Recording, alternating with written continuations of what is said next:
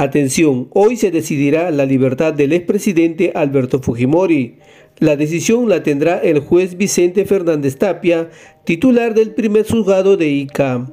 Además, el presidente del Tribunal Constitucional reafirmó que el Estado peruano no está obligado a obedecer a la Corte Interamericana de Derechos Humanos. Tampoco puede imponer su jurisprudencia sobre la soberanía de la justicia peruana y tampoco puede impedir la escarcelación de Alberto Fujimori. Bien, escuchemos la entrevista que le hace Jaime Chincha al presidente del Tribunal Constitucional, Francisco Morales.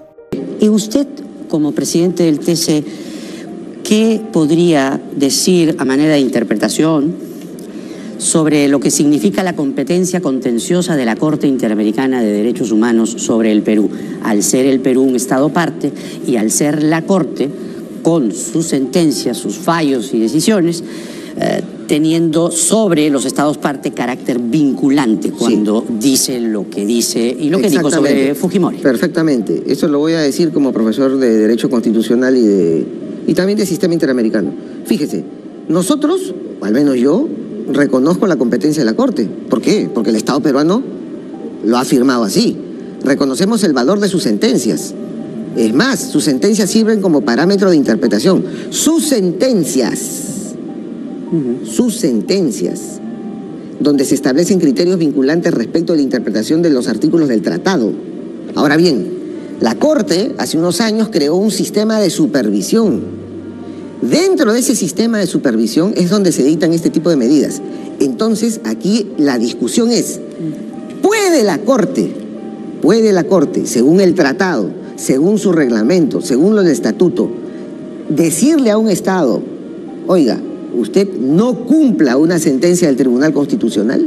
¿O puede el Estado peruano decir a través del Tribunal Constitucional, lo que tú digas corte, pese a yo ser Estado parte y tener tu carácter vinculante sobre las decisiones de la judicatura peruana, no te metas. ¿Puede hacer eso el Estado peruano? Sí. Pese a que es vinculante. Lo que pasa es que es vinculante el tratado y las sentencias.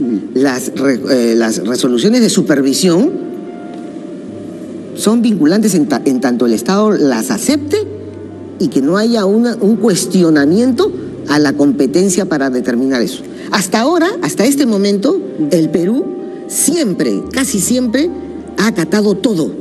Pero hay otros estados, como Argentina, Uruguay, en fin, otros países, incluso en Europa mismo, también hubo unos conflictos entre el Tribunal Europeo de Derechos Humanos y el Tribunal Constitucional Federal Alemán respecto de algunos temas. Aquí, desde el punto de vista académico, teórico, hay una eh, discusión que tendrá que darse en algún momento respecto de hasta dónde puede llevarse a cabo esta, esta, este, estas decisiones de la Corte. Pero la Corte dijo, que no son sentencias. ¿eh? La Corte dijo el año pasado que el Estado peruano debe abstenerse de implementar la sentencia por el Tribunal Constitucional del Perú del 17 de marzo del 2022 que restituye los efectos al indulto por razones humanitarias concedido a Fujimori por PPK el 2017 debido a que no cumplió con las condiciones determinadas en la resolución de supervisión de cumplimiento de sentencias de 30 de mayo del 2018. Claro, lo que pasa es que la Corte ha ingresado a un terreno que es prácticamente actuar como una cuarta instancia.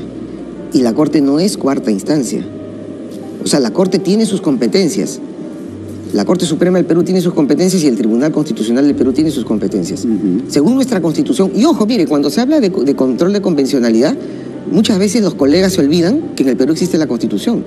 Porque si solamente el único parámetro para, para resolver los casos fuera la convención, entonces ¿para qué está la constitución? Mejor entonces el Perú podría, como dicen congresistas, políticos, que se retire de la Corte. Yo no creo eso, porque eh, estamos en un sistema integrado de, de, tratados de derechos humanos que son válidos. Y mire, pero la paradoja en este caso, si usted se pone, si nos ponemos a reflexionar, es la Corte debe proteger los derechos. Entonces aquí lo que se está impidiendo a través de esta resolución es, se impide sin die la escarcelación de una persona que tiene una sentencia de cosa juzgada. Yo no voy a entrar a discutir si la sentencia es buena, si es mala, si pudo ser mejor o no pudo ser mejor. A mí y a mis colegas de la mayoría, lo que nos preocupa es que nosotros como magistrados del Tribunal Constitucional no podríamos decir que no se ejecute nuestra sentencia. Porque el día que digamos eso, señor Chincha, prácticamente mejor ya cerramos el tribunal.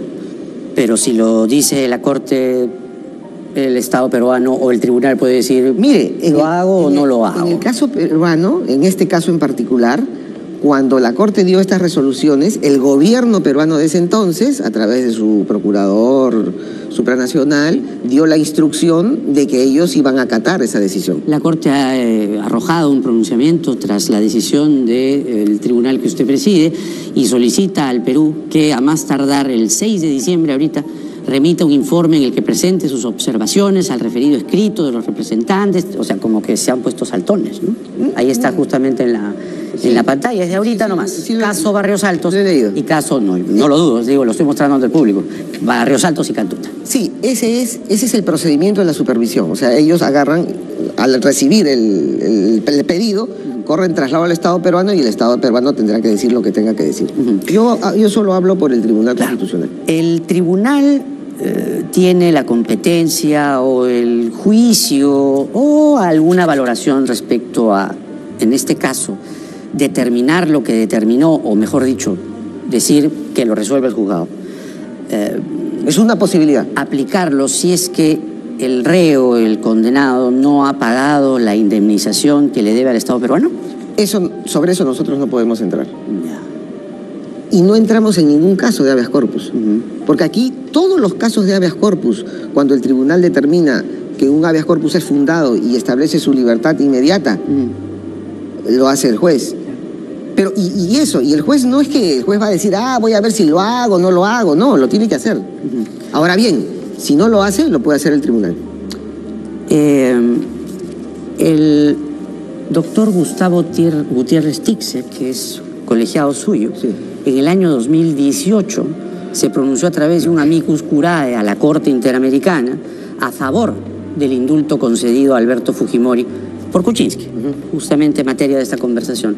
El doctor Gutiérrez Tixe debió inhibirse porque él ya tenía una posición ante la opinión pública el año 2018 y cinco años después usted como presidente no dijo, Gustavo, o señor, señor doctor, o señor magistrado, usted se ha pronunciado antes, inhíbase, como ha hecho Zavala ahora con el caso de la fiscal de la Nación, Sí, la inhibición. la inhibición es una figura que existe en los ordenamientos procesales y en los colegiados, en los órganos jurisdiccionales, pero la, la ley orgánica del Tribunal Constitucional establece la prohibición de la abstención. O sea, en el Tribunal Constitucional... De la abstención. Sí, sí, sí. Pero la inhibición, Es lo mismo. ¿sí? Sí, en términos genéricos es lo mismo. O sea, no se. Hay una, hay una prohibición para inhibirse, abstenerse. O sea, un magistrado, si se pronunció hace cinco años en un sentido, puede cinco años después, como magistrado del Tribunal Constitucional, la máxima instancia Sí. de la interpretación constitucional del Sí. Perú, pronunciarse sin problema. Podría, Ah, el condicional. podría. ¿Por qué? Porque también hay la posibilidad de abstenerse por decoro. Oh. Pero es voluntaria. El doctor Gutiérrez entonces no colocó como premisa el Sí, decoro lo puso, para- lo puso, lo puso, lo puso. Ya. Lo pero puso, por pero nosotros dijimos que no, que él tenía que conocer el caso. Ya. ¿Por qué? Ya, Subordinando el decoro. ¿O cómo? No, es que el decoro es una, No, es una palabra es que- importante, es un valor. Lo que pasa es que dice, eh, por, por razones de decoro, pero se entiende bastante genéricamente. Ya. Entonces, el doctor, el honor a la verdad, el doctor Gutiérrez se incorporó porque la mayoría le, le dijimos, tú tienes que participar. Porque consideramos que en este tema de las aclaraciones, al menos, no era tan importante. Pero bueno, es nuestro punto de vista. Como acaban de escuchar al presidente del Tribunal Constitucional, Francisco Morales, aseguró que la Corte Interamericana de Derechos Humanos no es una cuarta instancia. Además dijo que para el caso de Alberto Fujimori, que fue condenado por delitos comunes y no por delitos de lesa humanidad, y por lo tanto sí se le puede otorgar el indulto humanitario. Bien, finalmente, ¿qué opinan ustedes sobre las declaraciones que dio el presidente del Tribunal Constitucional, Francisco Morales? Además, ¿qué opinan? ¿Creen que el juez Vicente Fernández obedezca la sentencia del Tribunal Constitucional para que Alberto Fujimori sea liberado? Coméntame, dale like al video y suscríbete a este canal Informa Perú Noticias.